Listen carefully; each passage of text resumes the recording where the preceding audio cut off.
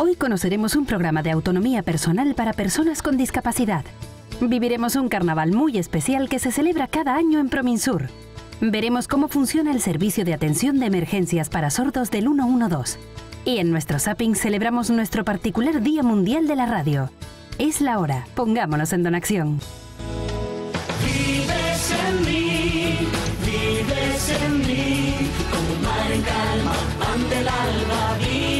en mí. Gesto de amor, alma y razón, como un gran simiente que da la gente, vives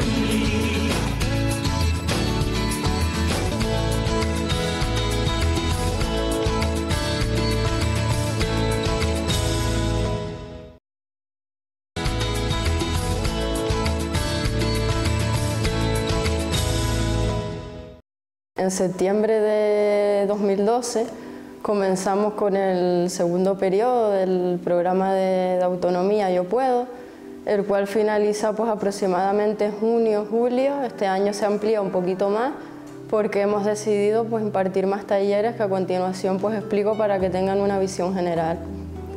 ¿Qué es el programa de autonomía? Pues el programa de autonomía, un poco para tener una referencia que nos sirviera a la hora de, organizar y planificar, se ha dividido en varios proyectos, lo cual no quiere decir que sean estructuras independientes, sino que están todas interrelacionadas. El pilar fundamental del programa de autonomía es el proyecto para la vida independiente. ¿Por qué? Porque se basa en, en utilizar los servicios de la comunidad, o sea, utilizar igual que el resto de personas, no, no crear servicios segregados, sino que la persona también con discapacidad pues pueda ir a una biblioteca, igual que el resto, pueda ir a un supermercado, pueda ir a comprar su propia ropa. Entonces, de ahí es de donde partimos. Eh, dentro de la vida independiente también está la autonomía en el hogar. Y de ahí que este año intentemos involucrar más a las familias, porque no tiene sentido que yo esté repitiendo esos contenidos si dentro de casa, que es donde vivimos y nos pasamos la mayoría de horas, ya podemos desarrollarlos allí.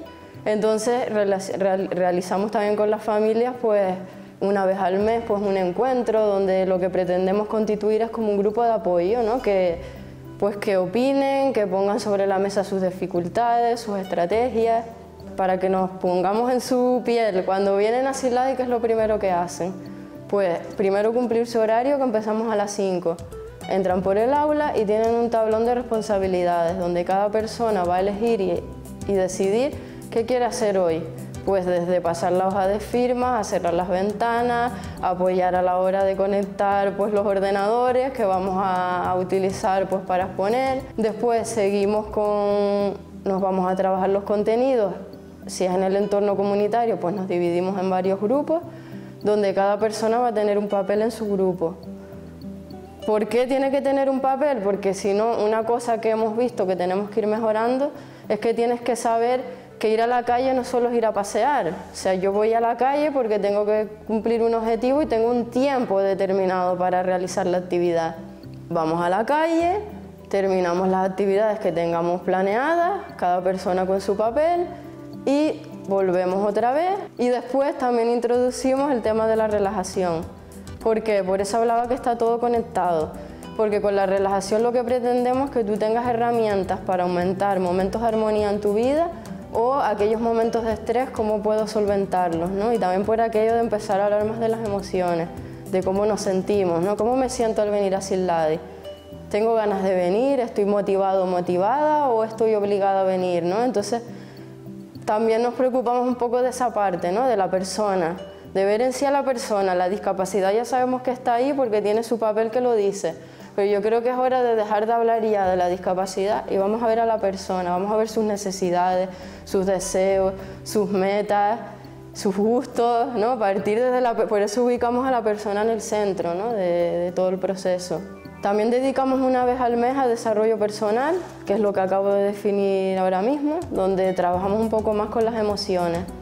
Porque si ya sabemos que el coeficiente intelectual no es lo que tiene mayor prioridad para nosotras, ni ya porque tengas una discapacidad intelectual, sino para mí como persona no lo es, entonces creo que hay otro tipo de competencias que habla la inteligencia emocional que nos van a servir, ¿no? Si yo soy una persona que sé gestionar mis emociones, a la hora de ir al entorno comunitario que hablábamos antes, me voy a desenvolver mejor, voy a ser una persona que va a pisar con seguridad, ¿no? No voy a ir con esos miedos y me voy a equivocar y no sé qué voy a decir, bueno, pues un poco esas sesiones para eso. Un poco la idea del proyecto de ocio que sean las propias personas quienes empiecen a manifestar qué actividades les gustaría hacer, que no venga dirigido por nosotras. Quiero que tengan la imagen de la profesional no que dirige, sino que facilita, que guía, que orienta, porque la idea del programa de autonomía es ese camino que va a tener su largo plazo, no va a ser siempre que yo venga sin lado y, y todas las actividades estén marcadas por otra persona, sino ese grupo que se autogestione y decida se siente y hable, bueno, ¿y qué queremos hacer el próximo viernes? Y que sean ellos y ellas mismas quienes organicen sus actividades. No estamos en esa fase, pero esperamos que esa fase llegue la hemos compartido con ellos y ellas mismas y están de acuerdo, ¿no? Que, que la autonomía tiene que basarse en la toma de decisiones. Si siempre la persona se le está diciendo lo que tiene que hacer, para mí eso no es autonomía. Yo creo que la mayor satisfacción es pues un poco partir de la persona, o sea, empezar a ver la persona, lo que comentaba antes, no la discapacidad está ahí, ya sabemos que hay unas dificultades como también las puedo tener yo, pero qué expectativas tiene esa persona, qué quiere conseguir en la vida y sobre todo el estar abierta a cambios. O sea, no podemos decir, bueno, ya tenemos el, el programa Autonomía, ya tenemos nuestros proyectos, ya está, ¿no? Cada viernes eh, que hacemos nuestras evaluaciones siempre estamos haciendo propuestas de mejora. ¿no? Yo creo que eso en la sociedad nos hace falta. Estar abiertos a que el cambio es bueno, es positivo. Trabajamos con personas, su vida es dinámica, su realidad cambia. Entonces o nos adaptamos a eso o, o esto no camina. ¿no?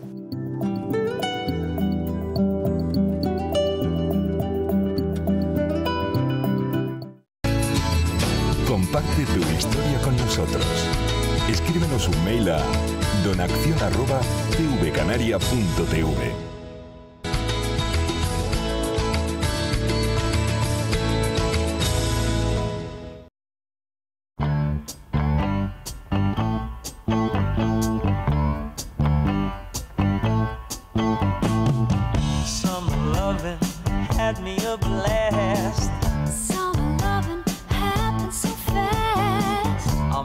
girl a.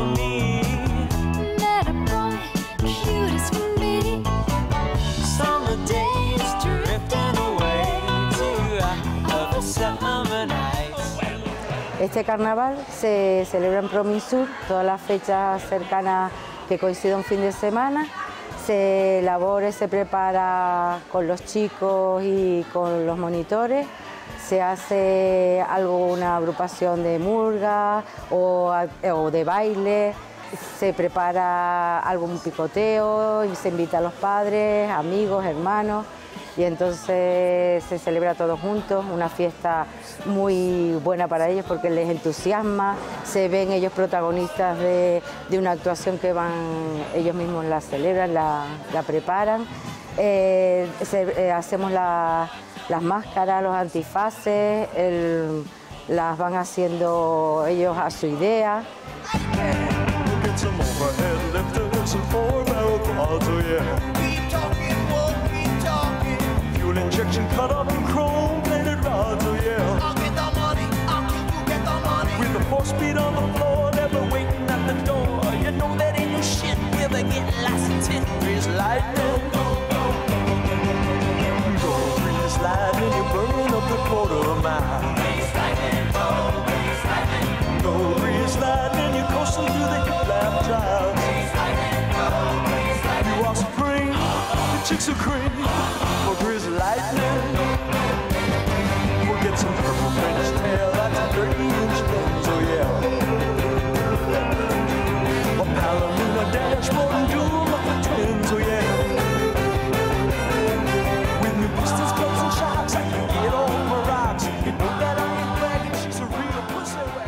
Otros años se prepara, se invita a una murga de aquí del municipio de Granadilla, actúa y canta así con, los chicos.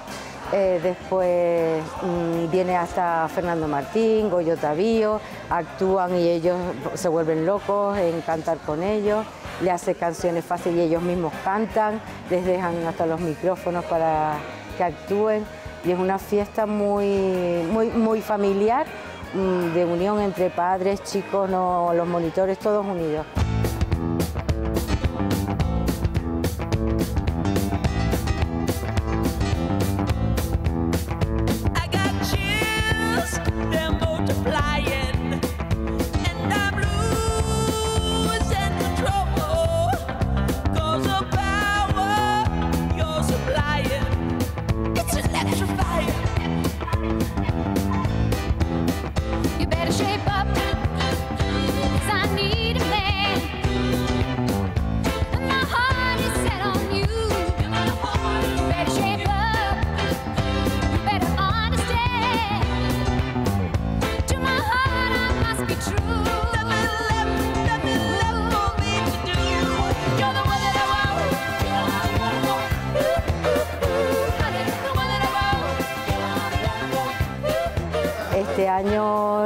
Celebrándolo ya.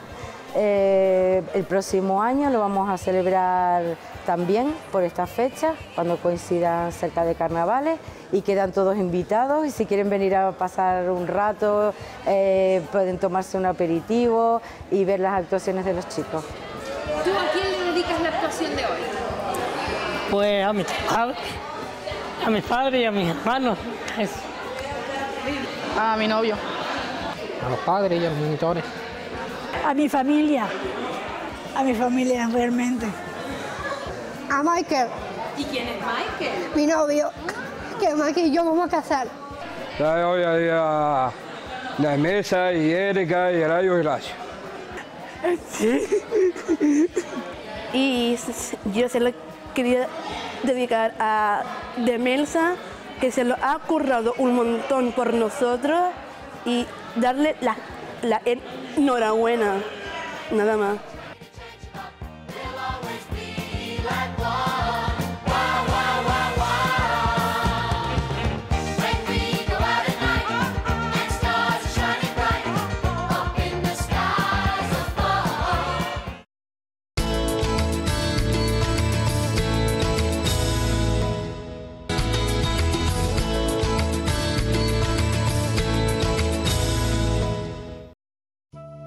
21 de diciembre de 2012 se puso en marcha el servicio de atención a personas sordas eh, con el fin de romper las barreras que existían para el acceso a los servicios de emergencia por parte de este colectivo.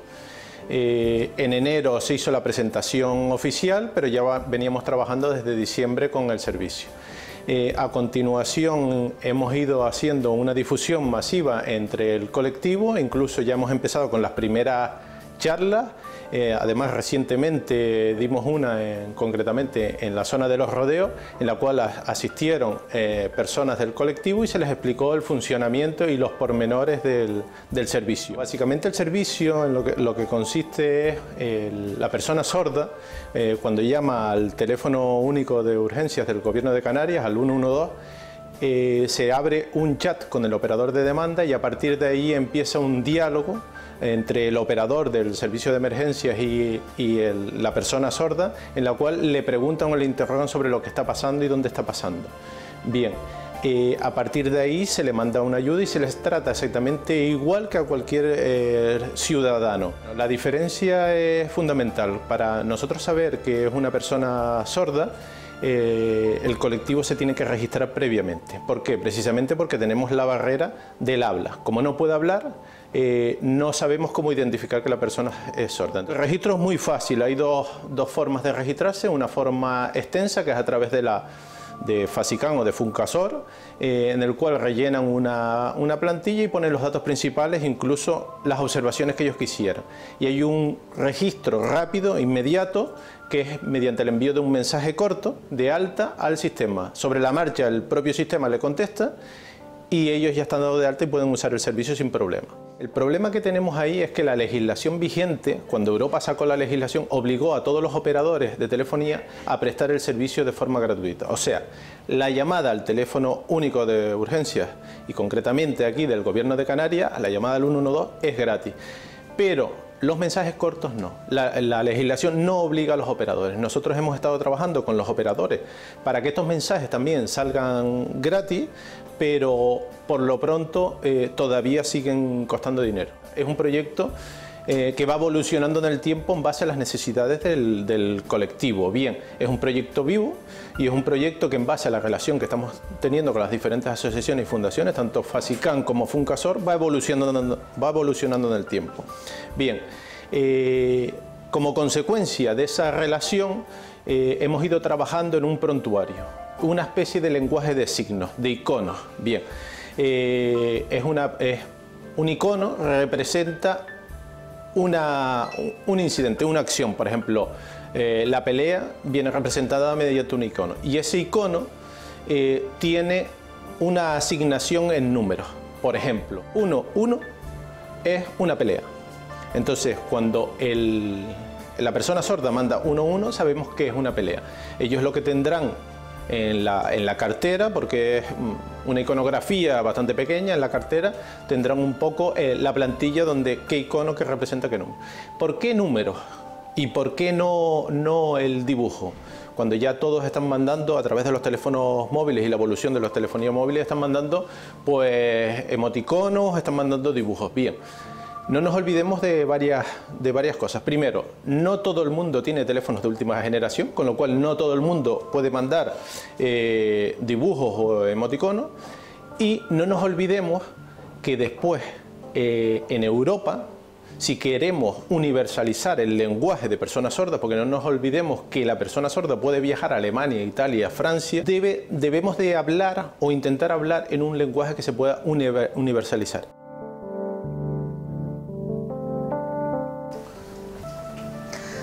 Bueno, creo que la, adaptación que ha hecho el 112 para las personas sordas es un paso muy importante porque ya está dando independencia y autonomía a las personas sordas para que ellas mismas, si surge, si tenemos una situación de emergencia, pues podamos nosotros eh, avisar y no tener que depender siempre de otra persona que nos esté ayudando. Entonces es, un, es, uno de los objetivos principales de las personas sordas. Entonces, tanto para el 112 o para cualquier otra situación, el poder mm, tener nuestra independencia y no tener que, que estar siempre a expensas de la ayuda de otra persona porque en la vida cotidiana, o sea, en la vida diaria de las personas sordas, a lo mejor nos puede surgir en un momento, en cualquier momento del día, en cualquier lugar, nos puede surgir, eh, o sea, alguna cosa y estemos solos, entonces ahora ya podemos estar tranquilos de que si pasa algo por la noche o de madrugada o estás conduciendo y nos surge alguna emergencia por alguna tontería, lo que sea, pues ya estamos tranquilos porque podemos avisar al 112, entonces es un paso muy importante y esta adaptación pues bueno ya nos da las facilidades para poder acceder a este servicio a todas las personas sordas hasta ahora, bueno, ya estamos teniendo facilidades, pero todavía hay que seguir trabajando en esto. Nosotros seguimos trabajando con el 112 para, para que cualquier persona sorda, con cualquier, o sea, con distintos, las distintas características de sordera,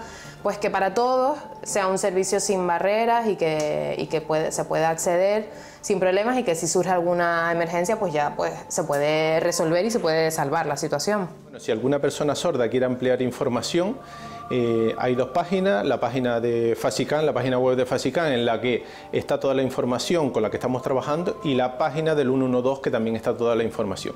Incluso ante cualquier duda sobre la información que allí se encuentra, hay un correo electrónico en el cual pueden eh, remitir las dudas o, plantear las observaciones que tengan.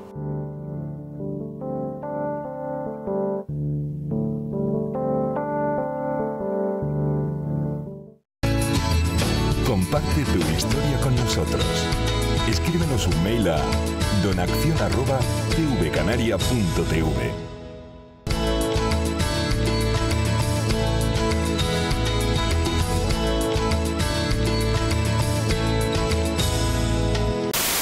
¿Ayudas por parte de quién? Si mandatarios no se lo hacen bien, se ocupan de adornar la ciudad por Navidad y olvidan recortar las escaleras para bajar.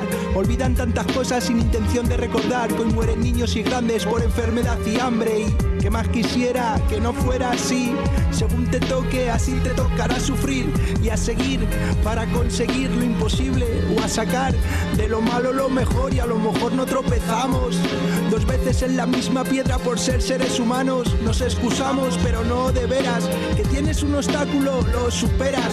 Te sientas, joder, y bajar las escaleras. Que a ti nadie te pare en esta vida que te espera. Y basta ya, así no me lo hagan más. A ti y a mí no va a haber quien nos quite el afán, ni tú ni tú, ni nadie más que tú. Podrás sin lograr lo que propongas se quiera. Aunque a veces la suerte no está tu vera, verdad. Pero no digas que no te lo hace currar. Claridad, honestidad. Ponte que aquí enfrente ya y dime si mi esfuerzo no me ha hecho a mí quererme más. Radio Alareda, transmitiendo desde el campamento de refugiados palestinos Deir al-Balá, en la Franja de Gaza. Parece como cualquier otra estación, pero aquí pueden verse a muchos periodistas desplazándose con muletas y presentadores con problemas de visión. Soy comunicadora y presentadora de noticias. Uso mucho la computadora. Utilizo el Zoom para agrandar el texto, así no tengo problemas para verlo ni para leerlo en voz alta. 26 personas trabajan para esta emisora. Cerca de la mitad tiene algún tipo de disfunción. Esta es una radio para discapacitados hecha por discapacitados. Envían consejos y apoyo psicológico a su comunidad.